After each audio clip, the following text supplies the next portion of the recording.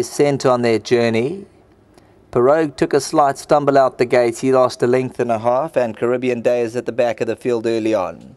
Secret warnings right there in the early stages. Catkin, New Hampshire's not too far off the speed. I can tell you, Run Rhino Run is only three and a half to four lengths off them. New Hampshire's going to slice through on the outside.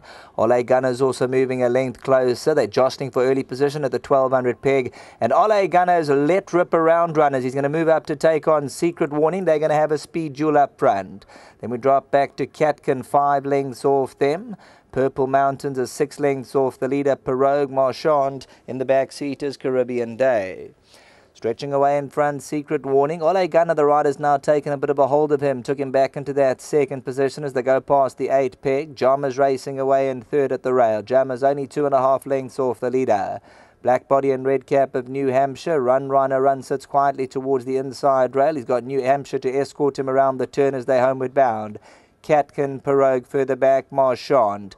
Top of the lane, 500 metres to go. Secret Warning skips along by two. Jama comes out for his run and then Ole Gunnar towards the outside. New Hampshire. Run Rhino runs trying to progress on the inside. Pirogue's looking for a wave through. Marchand goes through down the inside and Caribbean Day is also trying to have a crack at the leaders. But it seems like the action's on the outside. Secret Warning still in front. Catkin's running late. Caribbean Day on the inside. Catkin comes flying and run Rhino run. Run Rhino run Ole Gunnar. Catkin here comes the line. Oh, it's mighty close. Ole Gunnar maybe in a photo with Run Rhino Run, but it's very, very close.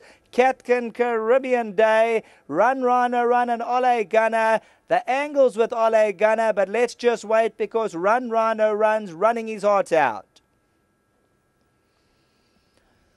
Well, this is quite difficult to split from up here. It was looking like Run Rhino Run's going to get his head down, but Ole Gunnar comes right back on the outside. Let's see, Run Rhino Run. Ole Gunnar's going to dive through, and perhaps Ole Gunnar gets his nose down on the line. Yep, Ole Gunnar's won it. Ole Gunnar. From in second, Run Rhino Run. Catkin's only a neck away in third. Caribbean Day and Pirogue, a length separating the first five. Secret Warning, Jama, and then came Purple Mountains.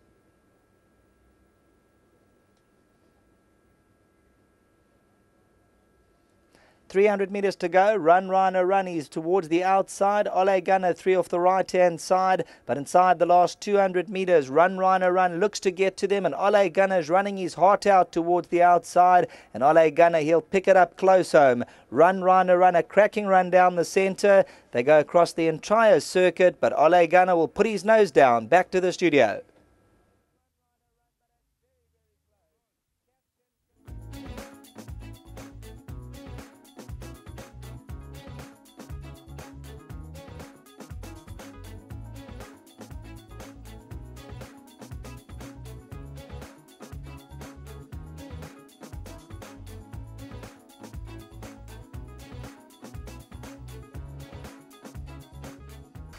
We've just seen uh, the running of race number six. It's gone the way of number four, Ole Gunnar. This is a four-year-old son of Second Empire. Uh, Paul Lafferty uh, really going through a purple patch. Uh, all his horses have been competitive and uh, really run well today. Uh, Laffy must be over the moon with another win. Yeah, uh, coming back from the gelding, I think the gelding did the trick with him, and uh, I, probably delayed it too long.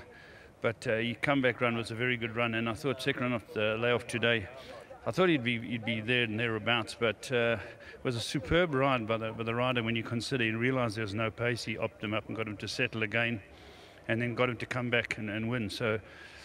Well done to all my mates who own it, and uh, I'm very pleased for all of them. I'm very pleased for uh, Koos. Koos bred this horse. Actually, his son Partik bred it, and I'm, I'm chuffed for them. But uh, great to have another winner. Yeah, Lef, uh, you always thought this uh, horse had a bit of ability. I remember in the beginning of its career, it obviously went uh, through a bit of a rough patch. You gelded it, and it looks like it's going to go on from here. Absolutely. So let's hope it keeps going. But he's won three now, and he wasn't an expensive horse, but uh, he's a lovely horse. Lovely stuff, top stuff. Thank Thanks very much. Let's get uh, Keagan in quickly.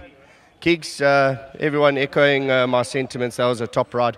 Realised the pace wasn't really there. You committed, held it up, and then it came back. Yeah, um, I must say a big thank you to Mr. Leff. He gave me the um, right of rein to do um, what I thought was best. And yeah, I jumped out and he didn't jump out quite well and um, he didn't take the bridle. So I thought I'd just slot him in and, and they were going way too slow. So I just stayed out wide and let him creep up slowly. And when he got there, he pricked his ears and he, and he quick and well to win. Yeah, seems to uh, be coming on, along the right way after the gelding. Yes, after the gelding, he's um, he's been beautiful. I must say, I never used to be able to cancel this horse down, and since he's been gelded, he's he's relaxed, and I'm just really grateful to be aboard him. Lovely stuff, top stuff today. Thank you very much. I must say a big thank you to, to Mr. Leff, um, Mr. Giorgio, Mr. Larson, and all the other partners. Well done.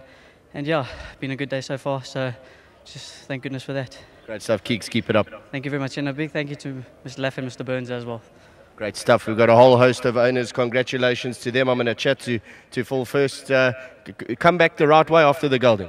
Yes, no, we always thought that he was a better horse than what he was showing us. And eventually, um, Clint wanted to geld him longer before we actually did. And now we've done it. Maybe he's going to show us what we think of him. Yeah, definitely more to come. I overheard you saying there possibly some more ground. Yeah, you know, the, the horse is bred to go for more ground. And uh, Keagan was reluctant to, to admit that he needs more ground, but now he seems to think that maybe it's the right thing. All right, well, you never know with these animals. Never know. All right, uh, and then uh, Mr. Stein, uh, how did that feel? No, it's great. It's really great. It's a special moment. Every win is a special moment, and doesn't matter if it's a big horse, little horse, special. And this is a special one for us. So. For sure, and uh, I'm sure there's going to be more to come with an effort like that. It's uh, put in two uh, decent efforts in uh, decent uh, races. Very much so. And uh, before he was gelded, he had a few good races and then went off. We've done the right thing, and just thanks to Leff and Davy Burns and all the staff back home, Fawzi, and also Keagan for a great ride. Well, you've got your mates here. Go enjoy the win. Super. Thanks a lot. Eh? Lovely stuff. Thank you very much. Uh, that was uh, race number six, gone uh, the way of number four, Ole Gunnar from the Paul Lafferty stable, ridden to victory by Keagan De Melo. They really uh, both are uh, having a, a golden day. That was race six. We'll see you back race seven.